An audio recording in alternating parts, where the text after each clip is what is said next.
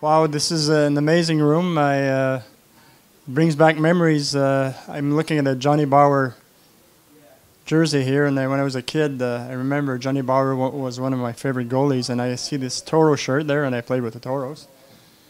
But it's uh, it's, it's an amazing room. I, I can't believe all the stuff here. Uh, the Leafs are not my favorite team, but I can see a lot of shirts, and uh, my team is obviously the Mon- Montreal Canadiens. But still, it's uh, I see all the Gretzky stuff.